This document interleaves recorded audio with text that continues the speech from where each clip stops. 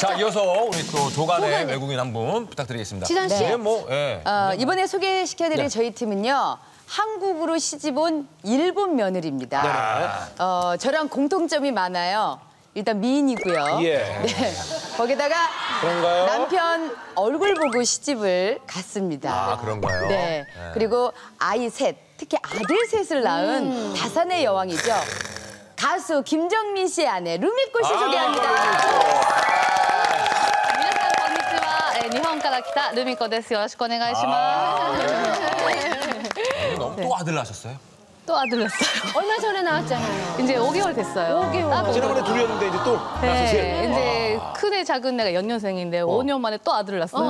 아들. 아니, 네. 웬만 아들 셋 키운 엄마는 네. 웬만해선 다 천당 간다 이런 얘기가 있어요. 천상 갈것 같아요. 네, 제가 봐도. 네. 근데 아니, 막내 그때 저기 김정민 씨가 동영상을 보여줬는데 그래요? 로미코 씨가 굉장히 막내 똑같이 생겼더라고요. 그래요? 네. 저도 그렇게 생각하는데요. 네. 우리 저 시어머님은 아이들 다셋 다 아빠 닮았대요. 원래 시어머님들은 그러세요. 네. 무기죠? 뭐 사실 뭐 다들 아시겠습니다만 김정민 씨하고는 또 이게 사실 이제 한일 국제 커플로 유명하신데 어떻게 만나시게 된 거예요? 그때가 2006년 6년 전이었는데요.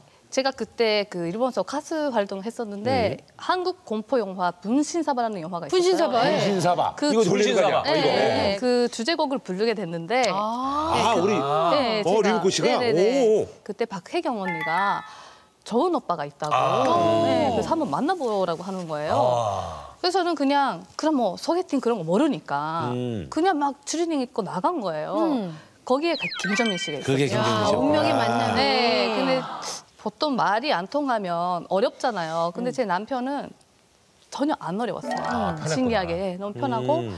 그래서 그렇게 만나게 됐는데 두 달 뒤에는 결혼 신고를 했었 했고 음.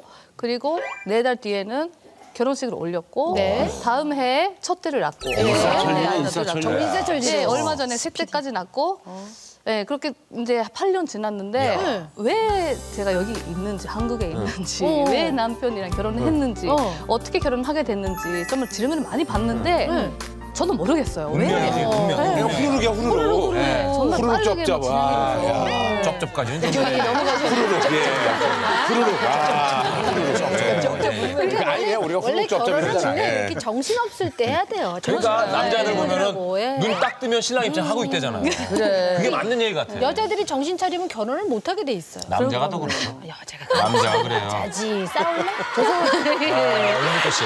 근데 참 착하신 게 결혼하자마자 시어머니하고 사셨잖아요. 네네. 고부간의 갈등 같은 건 없고. 그거 쉽지 않은데. 네, 그 저는 처음에는 잘할 수 있다고 생각했었고 잘해드리고 싶다고 생각했었어요. 근데 저희 엄마가 제 음. 아빠가 그 제일 교포이신데요. 근데 귀화를 하셔서 일본인이 되셨지만, 근데 저희 아빠가 좀 연세가 있으셔서 할머니가 조선 시대에 그 한국 엄마였어요. 아, 시어머님이. 시어머니, 예, 그죠. 거의 저희 할머니가. 그쵸. 그래서 제대로 지집살이를 시키셨대요. 엄마를? 네, 그래서 엄마한테 막 얘기를 많이 들었는데 시어머님보다 먼저 일어나야 된다. 일어나서 뭐 도와드릴 거 다 도와드려야 되고 불을 올려놔야 되고 밥을 먹을 때도 먼저 어른들 드신 다음에 다 치우고 그리고 너가 먹어야 된다. 막 그런 얘기 많이 들었고 말 실수는 절대 하지 말아라. 그리고 아들 꼭 낳아야 된다. 막 그런 얘기 너무 많이 들은 거예요.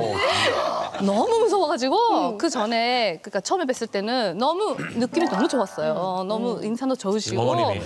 아 이제 되게 친하게 지낼 수 있겠다라고 생각했는데 이제 말을 못 하게 되더라고요. 그래서 결혼하고 나서 막상 사니까. 그렇죠. 그러니까 시장도 같이 가고 싶은데 시장 가요 해도 되는지 가죠 해도 되는지 가세요 해야 되는지 그 존댓말도 너무 어렵고 그리고 또 무슨 뭐 말을 하는 게 너무 두려워서 화장실에 숨어 있기도 했었고 네, 그래서 정말 정말 저는 엄마 때문에 엄마 그 얘기를 못 들으면 너무 무섭게 돼. 엄마가 오리엔테이션을 세게 시켰네. 네, 그래서 좀 지금은 좀 후회해요. 그 한국 드라마 같은 거 보면 시어머니들이 약간 좀 이렇게 무섭게 무섭죠. 나와서 네. 그런 영향도 있을 뭐 거예요. 박원숙 니네 집에서는 그렇게 이런 데. 뭐 이런 거. 박원숙, 박정수 씨. 그러니까요. 네. 지금은 잘 지내시죠? 네, 지금은 뭐 어머님 없으면 어떻게 못. 그러니까. 아들 어머니 죽으시죠. 네, 지금도 뭐 예. 셋째 아들을 어머님 봐- 보고 계세요. 어, 지금 보고 네, 계세요. 네. 로이코 씨그 한국말을 이해 못해서 생겼던 에피소드 같은 거 있어요?